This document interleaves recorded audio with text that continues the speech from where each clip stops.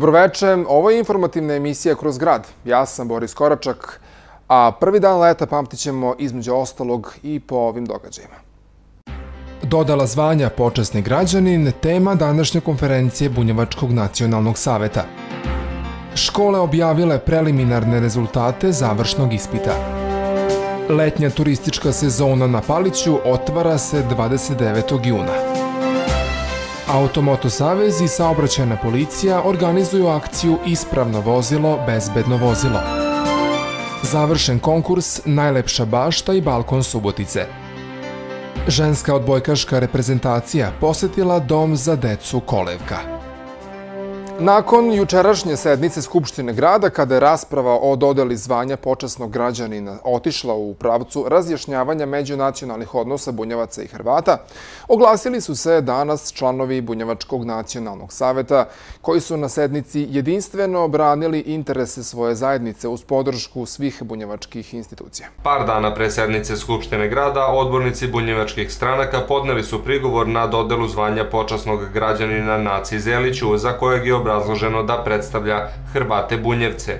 Odbornici bunjevačkih stranaka smatraju da se radi o odvojenim zajednicama koje ne može da predstavlja čovek koji je godinama radio na asimilaciji bunjevaca u Hrvate i bio osuđen zbog hrvatskog nacionalizma, uz to da zajednica Hrvati Bunjevci nije priznata dok Bunjevci jesu da deluje Savet za međunacionalne odnose, on bi morao rešiti probleme koji zadiru u pitanje postojanja jedne nacionalne zajednice. Međutim, kako on nije formiran, slične situacije su ostavljene za debatu na sednicama Skupštine grada. Takođe, po priznanju članova Komisije za dodelu zvanja, nije bilo ni jasnih kriterijuma za izbor počasnog građanina, što je i prouzrokovalo intervenciju odbornika iz različitih stranaka tokom skupštinske debate, te na kraju ova odluka nije izglasana. Odbornici iz bunjevačkih stranaka su ovaj predlog protumačili kao nameran pokušaj svođenja bunjevaca na pripadnike Hrvatskog nacionalnog korpusa, čime su bili primorani da brane svoju ravnopravnost sa drugim narodima. Da se vidi da je postojala određena namera da bunjevački ovaj, nacionalnu zajednicu ipak žele po svaku cenu da podvedu da, je, ovaj, da su bunjevci deo Hrvatskog korpusa, čime se mi u ovom slučaju nismo složili. I svi odbornici ovaj, iz bunjevačkih bunjevačkih stranaka i bunjevci koji su prisutni na toj sednici uz pomoć, ovaj, tako da kažem, ostalih ljudi koji e, razložno ovaj prate međunacionalne odnose i dobre odnose u gradu, ovaj shvatili su da ovakva jedna formulacija ne može da prođe iz tih razloga ta formulacija je praktično ovaj sad e, odbačena. Potrebno je promijeniti način dodeljivanja ovog zvanja, odnosno o svakom pojedincu raspravljati i glasati zasebno, a ne pokušavati u paketu sa značajnim ličnostima progurati i one koji možda ovo priznanje ne zaslužuju. Ocenjeno je da još uvek ima usijanih glava koje prouzrokuju probleme među Hrvatima i Bunjevcima, ali da je sve više onih koji su za saradnju i razumevanje.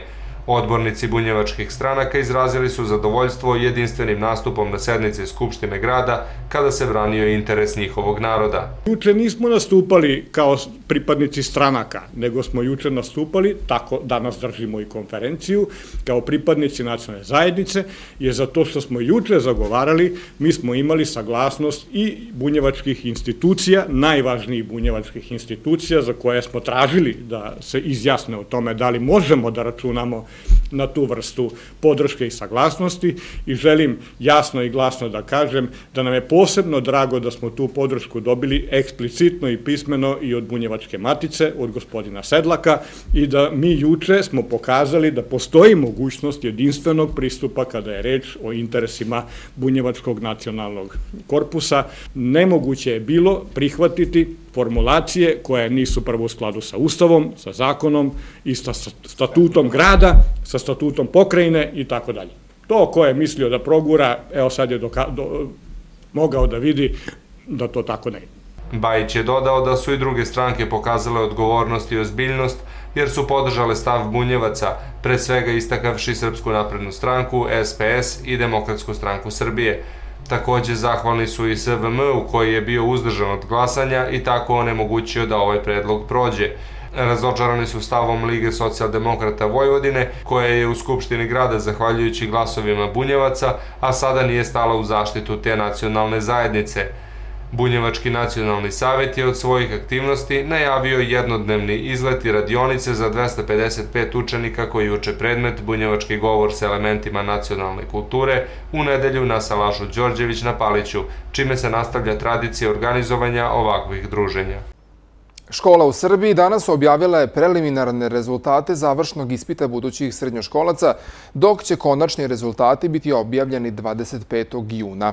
Upis učenika u prvom krugu predviđen je za 8. i 9. jul, dok drugi upisni krug na preostalim slobodnim mestima počinje 9. jula i trajeće do 12. jula. Osmi razred je ove godine završilo 70.385 džaka. U srednjim školama ima skoro 80.000 mesta, oko 10.000 više nego što je osmaka. Svršeni osmaci su u ponedeljak i u sredu polagali testove iz srpskog i matematike, čime su završili polaganje male mature, obaveznog testa kojim završavaju osnovno školsko obrazovanje. Ispit iz matematike trebalo je da polažu u utorak, ali je ono pomereno za sredu, jer je Republička upisna komisija u oči početka polaganja došla u posjed fotokopije jedne od kombinacija. Ove godine je na testiranju bilo 75% nepoznatih zadataka, dok je 25% delimično poznatih sa izmenjenim sadržajem u odnosu na zbirke. Učenici ne mogu da padnu na maloj maturi, ali treba da imaju što više poena, jer tako povećavaju šansu da upišu željenu školu. Samostalni sindikat Putara Srbije odlučio je da 26. juna organizuje generalni štrajk zaposlenih u putarskim preduzećima, jer vlada Srbije nije prihvatila zahtev da se novac za održavanje puteva obezbeđuje iz akciza na derivate nafte i tečnog gasa. U saopštenju sindikata Putara navedeno je da će, ako se na taj način u roku od najduže dva meseca ne reši finansiranje održavanja putava, bez posla ostati 10.000 radnika, a bit će dramatično pogoršana bezbednost u saobraćaju. Na sastanku Putara i predstavnika Ministarstva saobraćaja dogovoreno je da država preuzme isplatu duga javnog preduzeća Putevi Srbije prema putarskim preduzećima u ukupnom iznosu od 1,35 milijardi dinara. Vladi je predloženo da se izjasni o predlogu da se u buduće novac za održavanje puteva obezbeđuje iz dela prikupljanih akciza na gorivo. U Srbiji rade 26 putarske firme koje zapošljavaju 10.000 radnika. Kancelarija za mlade organizovala je prvu nizu obuka pisanja projekata pod nazivom Od ideje do akcije, namenjenu mladima koji su uključeni u rad organizacija civilnog društva, neformalnih grupa i učeničkih parlamenta, a koji nemaju iskustva u ovoj oblasti. Prepoznajući značaj pisanja projekata kao prvi korak ka realizaciji zamisli kojima se društveni problemi mogu rešavati, Kancelarija za mlade ponudila je mogućnost mladim ljudima da kroz dvodnevnu obuku dođu do osnovnih saznanja kako projekat koncipirati, postaviti ciljeve i preduzeti korake ka njihovom ispunjavanju. Ova obuka je bila otvorena za sve mlade koji e, žele da se obuče u ovoj veštini pisanja projekata. Također bila i otvorena za mlade, volontere i saradnike nekih udruženja građana koje e, također pišu projekte, pa kako bi oni zapravo negde osnažili e, svoje kadrove i mogli da apliciraju na projekte. Za samo dva dana mene se čini da su oni vrlo dobro savladali e, te neke veštine pisanja projekata i oni su sami uvidjeli koliko je to nije tako naivno e, kada su krenuli u tu neku analizu pisanja i onda su, na primjer, ono, odredili neke svoje ciljeve i tako dalje i onda su shvatili da u stvari imaju tri projekta u jednom projektu, na primjer, pa su to tako neka učenja u stvari e, koliko je važno zapravo da se prođe ovaj, kroz teorijski deo. Jedna od učesnica obuke je Irena Šelken, čija zamisao se bazira na problemu zaštite životne sredine i nosi naziv Očuvajmo pluća našeg grada. Da se uključi u rešavanje ovog pitanja, postaklo ju je loše stanje ne samo u gradskim parkovima, već i mnogo smeća u šumama van grada. Jedno od rešenja je postavljanje većeg broja reciklažnih kontejnera, kao i podizanje svesti sugrađana, naročito mladih. Ja ga razrađujem neka dva meseca, tražim ekipu s kojima bi mogla to da uradim. Sad kroz ovo ću možda moći da pokrenem projekat i sad sam saznala kako da ga ostvarim. A odnosi se kako da zelene površine, uklonimo smeće sa zelenih površina i vratimo sjaj našim parkovima i drveću i da nema više smeća. Skoro svi ispitanici obuhvaćeni istraživanjem Agencije za borbu protiv korupcije o zdravstvu tvrde da im nikada u zdravstvenim ustanovama nije traženo nešto što se može smatrati kao mito i većina ispitanih kaže da nikada poklonima ne čašćava zaposlene u tim ustanovama. Istraživanje ocena integriteta zdravstvenog sistema iz perspektive korisnika usluga koje je predstavljeno u petak, a tokom kojeg je intervjuisano 1452 korisnika zdravstvenih ustanova, pokazalo je da po odgovorima 83 odsto ispitanih u bolnicama i klinikama nikad nije traženo nešto što se može smatrati mitom. U, bolnica, u bolnicama i klinikama direktno je tražen mito od 3% ispitanih, a indirektno od 14%, dok u domovima zdravlja i filijalama Republičkog fonda za zdravstveno osiguranje mito nikad nije tražen, kaže više od 90% ispitanih. Predstavnik Agencije za borbu protiv korupcije, Dragomir Milutinović, rekao je da je, da je nedostatak tog istraživanja što nisu obuhvaćeni ljudi kojima iz nekog razloga nisu dostupne zdravstvene usluge, te da je moguće da bi rezultati bili drugačiji da su i oni ispitani. Istraživanje je pokazalo da 10 od 100 pacijenata sami daju poklone zaposlenima u bolnicama, klinikama i institutima. 40 od 100 to nikad ne radi dok ostali ponekad čašćavaju. 4% ispitanih redovno daje poklone u domovima zdravlja, a 63% nikada. Većina, 60% ispitanih koji kažu da imaju iskustva s traženjem mita u zdravstvenim ustanovama, dalo je to što je od njih traženo. Oko 30% se ponašalo kao da se ništa nije desilo, a ostatak je reagovao nekako drugačije a kako bi pomogli građanima da lakše podnesu temperature koje na suncu prelaze i 40. podeok Celzijusove skale, aktivisti Crvenog krsta danas su na Trgu Slobode u vremenu od 10 do 13 časova organizovali akciju podele 1000 flašica rashlađene pijaće vode u ambalaži od pola litra. Imajući u vidu da je i danas temperatura bila izuzetno visoka, flašice sa vodom podeljene su za svega sat vremena, pa su aktivisti naše sugrađane osvežavali vodom iz balona.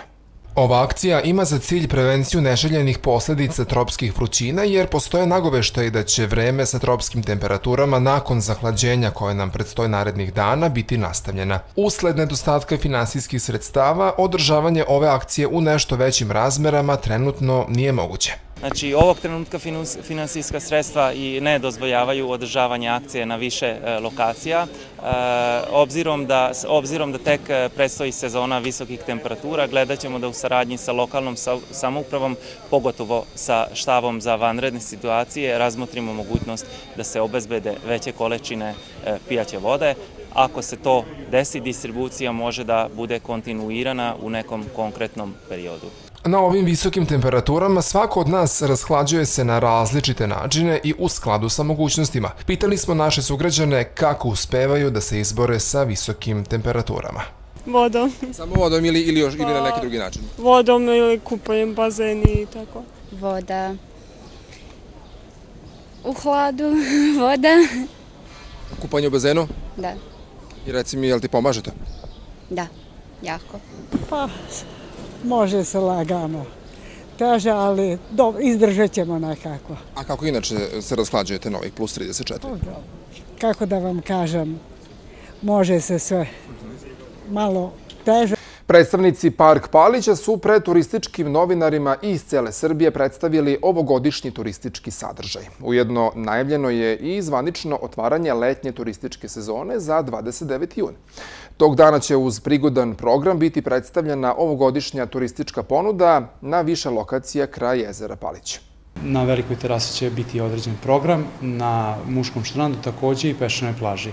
Konkretno smo se e, pobrinuli da tu bude i sportsko-rekreativnih sadržaja koji će se uglavnom bazirati na prostoru peščane plaže. E, na muškom štrandu ćemo imati tradicionalni zlatni kotlić Palića, pošto želimo da naravno i mi pošaljemo pobednika sa Palića na pokrajinsko takmičenje u kuvanju riblje čorbe. Tu će nastupiti i bendovi, bit će muzički program koji će sve to pratiti, predviđeno otvaranje kampa, autokampa, odnosno kampirališta, kako bi trebalo da se zove po našoj klasifikaciji, i termalnog bazena. Na velikoj terasi ćemo imati tamburaše, imat ćemo vinare, imat ćemo sve ono što po čemu je Palić i Subotica prepoznati, kao što sam rekao, a u tom nekom gastronomskom smislu, tako da ćemo predstaviti eh, hranu ovog podneblja. Na dan otvaranja za sve posetioce koji se zateknu na Paliću, obezbeđeno je piće dobrodošlice kao i bon voucher uz koji će moći da probaju specialitete domaće gastronomske ponude. Od novina za ovu sezonu istaknuto je otvaranje renoviranog ženskog štranda koje se planira do početka filmskog festivala, čarda kapetanski rit na muškom štrandu i rad kongresnog centra. Ugostiteljski paketi za ovu godinu već su pripremljeni i dostavljeni turističkim agencijama i operatorima. A kako je rečeno, s obzirom na obogaćenu ponudu, nove objekte i pristupačne cene, u ovoj sezoni u odnosu na prethodnu očekuje se znatno veći broj noćenja i poseta ovoj turističkoj destinaciji. Cene su na nivou prošle godina, imamo razne popuste, akcije, primetili smo to po, po paketima koje su gostitelji napravili, tako da će sigurno u svakom slučaju svi gosti sa domaćeg tržišta moći za sebe da pronađu nešto po relativno prihvatljivim cenama na Paliću. U maloj gostioni na Paliću sinoć je održano veče šampiona zabave priređeno povodom nagrade Brand Leader u oblasti turističke industrije Jugoistočne Evrope, koju je Elit Palić nedavno dobio od stručnog kolegijuma 11. regionalne konferencije Turističko tržište Jugoistočne Evrope, nove razvojne mogućnosti. Sinoćna manifestacija organizovana je i kako bi se turističkim novinarima Srbije predstavila letnja ponuda male gostione, koncipirana tako da onima koji odluče da na Paliću provedu par dana odmora, pruži potpuni ugođaj. Poseban akcenat je na gastronomskoj ponudi koja je prilagođena vrelim letnjim danima, ali i na zabavama poput sinoćne, koje će se i u buduće priređivati četvrtkom kao uvod u vikend ispunjen različitim aktivnostima i sadržajima. Četvrtak je na neki način jedan dan koji, koji, koji, na kome se prelama, prelama ju, a, nedelja da bome. Znači nije, nije komplikovano ovaj dobiti petak kao nekav slobodni dan i onda imate jedan lepi produženi vikend. Mi znamo da više nema mnogo šansi da se odrađuje onaj dugački godišnji odbor kako mi pamtimo i kako, za kojim čeznemo. Vremena su se promenila, sad je važno da ljudi imaju više kratkih odmora. Naš četvrtak bi trebao da bude nekakav uvod u taj, u taj skraćeni vikend odmor na Paliću i mi smo pripremili jedan, jedan program koji dakle nudi tih četiri dana full, dakle da bude i, i ovaj e, e, e, dovoljno odmora, ali da bude i dovoljno aktivnosti, da nijednog trenutka e, čovjek nema e, osjećaj da mu, je, da mu je višak vremena, da mu je nešto dosadno, da ima više alternativa, da ne mora da uradi ono što mi na neki način samo nudimo kao jednu, nego, nego da može da bira. Današnjom podelom nagrada i zahvalnica u Gradskom prescentru završen je jednomesečni konkurs javno-komunalnog preduzeća Čistoće i zelenilo, najlepša bašta i balkon Subotice.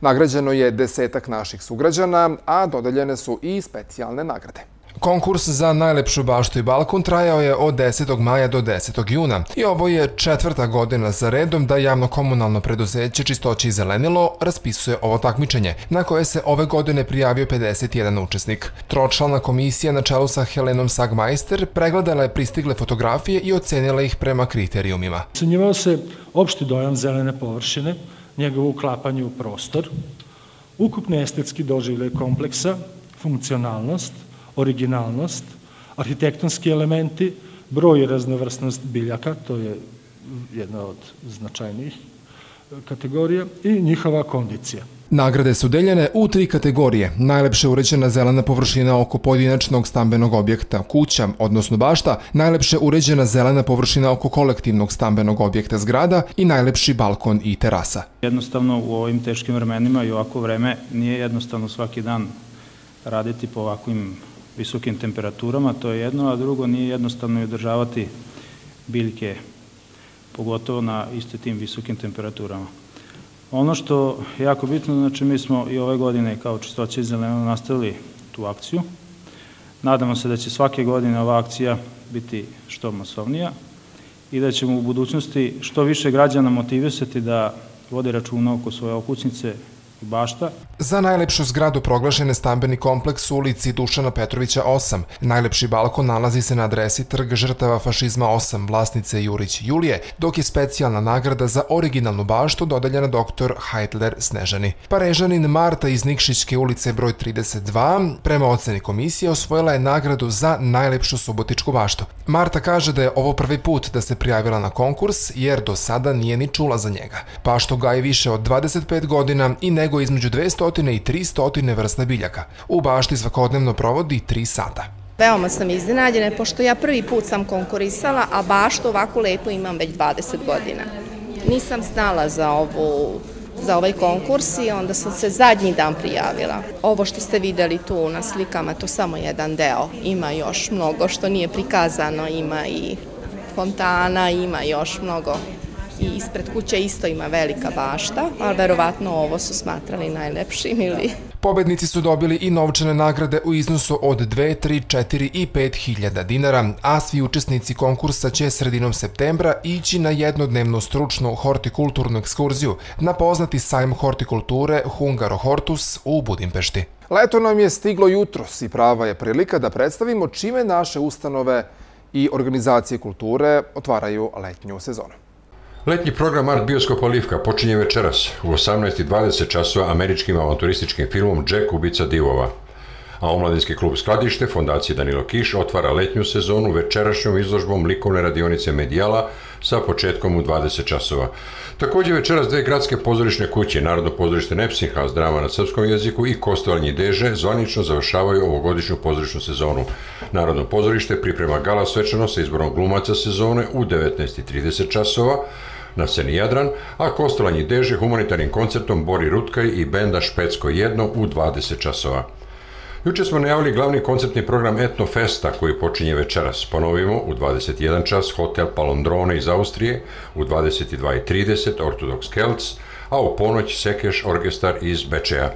Sutradan u subotu 21 čas Svetana Spajić i ansambl Kitka u 22.30 Alberto Lopez i grupa Flamenko iz Španije, a za ponoći koncert najavljuje se Daga Dana, ukrajinsko-poljska grupa. Ovog puta našu pažnju privuko je prateći program sa radionicama. O tome od Dejana Vujinovića, su organizatora Etnofesta, saznajemo. Mi radimo i prateće programe na festivalu. Evo već više godina za redom fotografske radionice. Ovaj put jedan raritet. Dolazi nam majstor fotografije Zalka Imre iz Mađarske i profesor Petendi Sabo Peter koji će prezentovati jednu specifičnu tehniku koja datira još iz 19. veka, sa sredine 19. veka, reče o tehnici mokrog kolodijuma. Imamo već mnogo zainteresovanih. Nažalost, taj krug Eh, prijavljenih smo zatvorili jer je tehnika vrlo specifična, ali ćemo imati prilike dakle, i da prenesemo neko znanje na subotičke fotografe, novosadske, beogradske, koji će učestvovati u radionici fotografskoj koja se bavi tehnikom mokrokolodijuma. Takođe, eh, radionica, Eh, flamenko radionica, eh, Alberto Lopez će da svira gitaru, imamo polaznike te radionice i Jolanda Osuna koja takođe dolazi iz, iz eh, Andaluzije će da predstavi tradicionalne andaluzijske koreografije. Ono što je još interesantno i volao bih to svakako da istaknem, da će nam u gostima na festivalu biti Oliver Đorđević, urednik časopisa Etnoumlje, jedinog časopisa koji se bavi world musicom ili muzikom sveta na teritoriji Balkana i dolazi Marija Vitas, e, e, gospođa koja godinama radi na Radio Beogradu i koja će kao urednica tog časopisa da predstavi jedno specijalno izdanje World Music u Srbiji prvih 30 godina. U klubu Mladost Novosadski band kvartet JBG i Ivana Štrbac večera su 21.30. Gradska biblioteka, Gradski muzej i likovni susret također su pripremili letnje programe No, centralni događaj ovogodišnje subotičkog leta je svakako jubilarni filmski festival Palić od 13. do 19. jula. Više i sadržajnije o letnjim programima, gradskih ustanova i organizacija kulture u našim narednim informativnim emisijama kroz grad. U okviru programa Dužijance u nedelju 23. juna na praznik Svetog Ivana Cvitnjaka održat će se priskakanje vatre. Ovaj gotovo zaboravljeni narodni običaj ponovo će oživeti na salašu Stipana Kujundžića u Maloj Bosni. Početak je u 18 časova.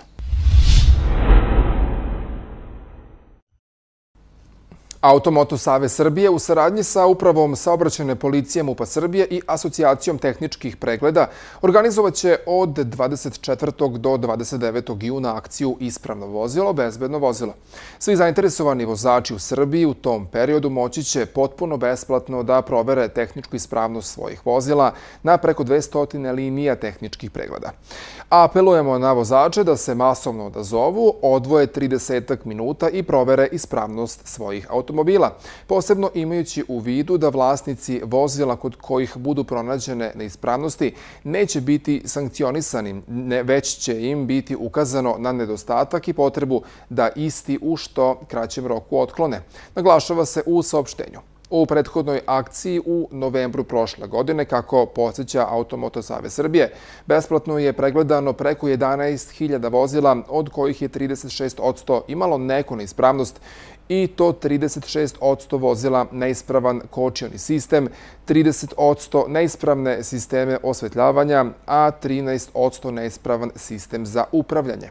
Bliže informacije o ovoj akciji kroz koju Automoto Save Srbije nastoji da razvije naviku kod vozača da redovno kontrolišu tehničku ispravnost automobila, mogu se dobiti pred početak akcije u operativnom centru Automoto Saveza Srbije na telefon 1987 na sajtu Saveza ili kod saobraćajne policije.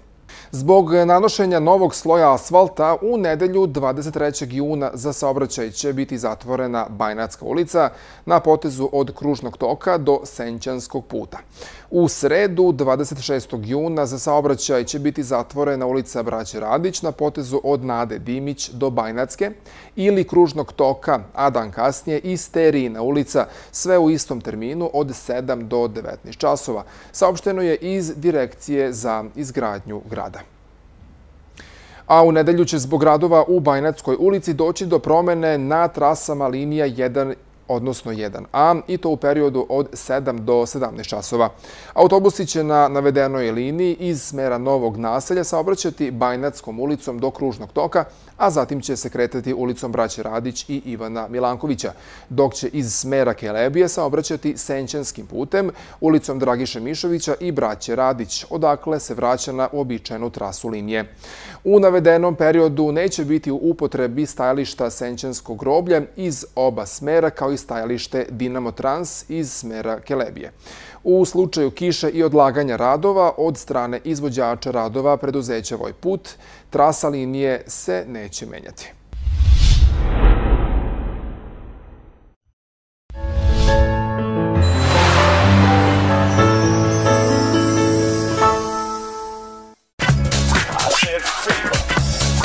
Autokar Vidaković. Prodaja novih vozila marke Renault i Dacia. Prodaja vozila na kredit i leasing po specijalnim uslovima sa ugovornim partnerima. Beskamatni kredit za fizička lica od 3000 do 5000 eura za kupovinu novih automobila iz naše ponude prodaja originalnih rezervnih delova i originalne dodatne opreme za nova i polovna vozila Renault i Dacia, patasnice, preslake, krovni nosači, aluminijumske felne, kuke za vuču. Veliki i mali servis, kao i servisiranje i održavanje vozila Renault i Dacia u garantnom i van garantnom roku. Kompjuterska diagnostika. Punjenje i održavanje klima uređaje za sve marke vozila. Centriranje trapa putničkih i lakih teretnih vozila. Ugradnja TNG uređaja u vozila u garanciji i van garancije. Montaža montaža i demontaža zimskih i letnjih pneumatika. Autokar Vidaković, jedini ovlašćeni servis u Severnobačkom okrugu.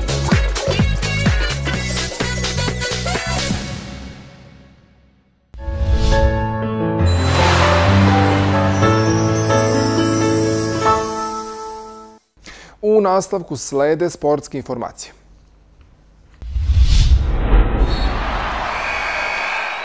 Odbojkaška reprezentacija Srbije zajedno sa delegacijom reprezentacije Nemačke, Belgije i Izraela posetili su danas dom za decu Kolevka. Svojom posetom i poklonima u vidu lopti i dresova izmamili su osmeh i radost na licima dece. Dugogodišnji direktor Doma za decu Kolevka Mirjana Čablić uručila je poklon koordinatoru svih nacionalnih selekcija Odbojkaškog saveza Srbije, gospodinu Darku Đuričkoviću, i zahvalila se svim reprezentativkama i predstavnicama drugih reprezentacija na ovoj humanitarnoj akciji. Kolektiv e, jako voli odbojku, volimo sport uopšte. ja sam inače Mira i radim kao rukovodilac u ovom domu ali ja sam praveteran u sportu, nisam se bavila odbojkom, bavila sam se košarkom, ali mislim da je sport taj koji nudi jedan kvalitet i jedan obogaćuje sadržaj života. Pored toga, prije nešto dam ovaj predsjedniku ustupim reč, da vam kažem šta nama znači vaša igra. Prvo, Kolevka je među 2300 radnika socijalne zaštite prednjači u kolevci. U muškoj dvojici smo ubedljivo prvi, to je dosta velika konkurencija, u ženskoj neka drugi, neka treći i tako, i moji radnici imaju apsolutnu podršku za rekreaciju, za takmičenja, da putuju i tome slično. Bojkaški savez Srbije u okviru svojih e, stalnih aktivnosti i pod imenom Odbojka Spaja e, je danas, e, budući da se ovde kod vas u Suboticu odigrao ovaj vrlo značajan turnir Evrolige, želeli smo da dođemo i da damo jedan skromni doprinos pre svega našim prisustvom, da znate da smo uz vas uz vas, uz vaš kolektiv, uz ljude koji rade sa, sa ovom decom. E, vrlo je teško naći reči, vrlo je teško obratiti se i vama i njima, jer znamo kroz kakve muke i patnje prolazite, znamo sa kakvim problemima se susrećete, ali jednostavno smo željeli našim prisustvom tu da vam kažemo da smo uz vas, makar emotivno. Leto na severnoj zemljenoj pololopti počela jutro su 7 časova i 4 minuta. Na dan početka leta obdanica je najduža, a noć najkraća, pa će danas dan trajati 15 sati i 36 minuta, a noć 8 sati i 24 minuta. Leto će trajati do 22. septembra kada počinje jesen, a ona će trajati do 21. decembra kada je zvanični početak zime. Poslednjih dana je sa setom sećamo zbog tropskih temperatura koje su nas zadesile i koje ni sutra neće posustati. Sledi vremenska prognoza. Sutra će prema prognozi meteorologa biti sunčano i vrlo toplo, uveče i u noći ka nedelji nestabilno uz kiše pljuskove sa grmljavinom. Duvaće slab zapadni vetar, pritisak će biti oko normale, minimalna temperatura 21, maksimalna oko 33 stepena. Očekivana biometeorološka situacija može dovesti do daljeg pojačanja tegoba kod većine hroničnih bolesnika, ali se poseban opred savjetuje osobama sa kardiovaskularnim tegobama i asmatičarima. Mogući su nesanica, glavobolje i smanjenje radne sposobnosti. Usled nepovoljnih termičkih uslova svima se preporučuje adekvatna zaštita od UV zračenja i izbjegavanje većih napora u periodu od 10 do 17 časova. Za kraj, kratak osvrt na događaj dana. Dodala zvanja počasni građanin, tema današnje konferencije Bunjevačkog nacionalnog saveta. Škole objavile preliminarne rezultate završnog ispita. Letnja turistička sezona na Paliću otvara se 29. juna. Automoto Savez i saobraćajna policija organizuju akciju Ispravno vozilo, bezbedno vozilo završen konkurs Najlepša bašta i balkon Subotice. Ženska odbojkaška reprezentacija posetila dom za decu Kolevka. Bila je ovo šetnja kroz grad. Ukoliko ste nešto propustili, posjetite naš sajt www.rtvcity.com. Ostanite uz programe City radija i televizije.